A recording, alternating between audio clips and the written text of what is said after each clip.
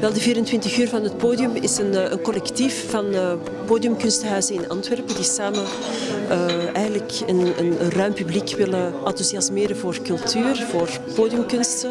Dan spreek ik over dans, muziek, theater. wij vanuit Prospecta, wij zijn het Centrum voor Kunstcommunicatie en wij organiseren eigenlijk voor al die huizen samen, het zijn er 27, organiseren wij de 24 uur van het podium. Ehm, we zijn hier nu te gast in het Huis van de Amateurkunsten, uh, waar improvisatietheater is. Uh, we hebben vanmorgen jazzmuziek gespeeld in de opera. Uh, je vindt dansvoorstellingen in theaterhuizen. Dus we hebben het ook allemaal een beetje door elkaar gegooid. huizen nodigen elkaar uit. De samenwerking is heel fijn.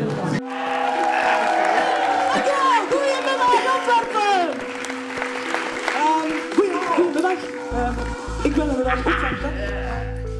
de 24 uur van het podium is uh, een geweldig initiatief omdat je op heel veel uh, tijd heel veel verschillende dingen kunt uh, beleven. kunt kijken naar het podium, kunt kijken naar dans, naar woord, naar muziek, naar alles wat je eigenlijk belieft. je kunt een keuze maken en alles ligt dicht bij elkaar, dus je hebt ook niet het gevoel dat je iets moet missen. Dit jaar is mijn eerste keer, maar ik heb gevloekt dat ik vorig jaar er niet was. en ik heb als gevolg van vorig jaar en een promotie die mijn vrienden deden wel voorstellingen gaan kijken. Dus ik ben heel blij dat ik nu eerste lijns voorstellingen zie.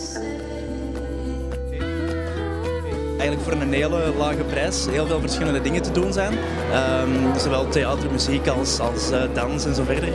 En dat alle locaties eigenlijk ook heel dicht bij elkaar zijn, zodat je perfect met de fiets uh, alle dingen kunt bezichtigen en uh, meepikken. Dus dat is super tof.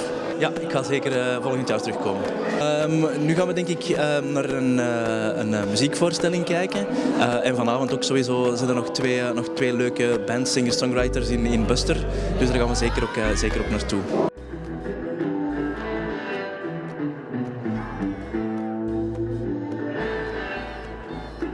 Wel, wij hopen gewoon heel veel mensen te bereiken, uiteraard. Mensen die nu al naar theater komen, maar eigenlijk de kans krijgen om op heel veel plekken een kijkje te gaan nemen.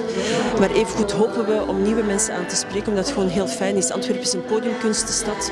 Uh, we zijn ons daar te weinig van bewust. En we hopen gewoon dat uh, mensen de klik maken en een kijkje komen nemen. Nu in voorverkoop evenveel tickets verkocht als we vorig jaar gewoon voor het gehele evenement hebben verkocht. Dus uh, het zit echt wel in een, ja, in een groeiscenario. Thank you.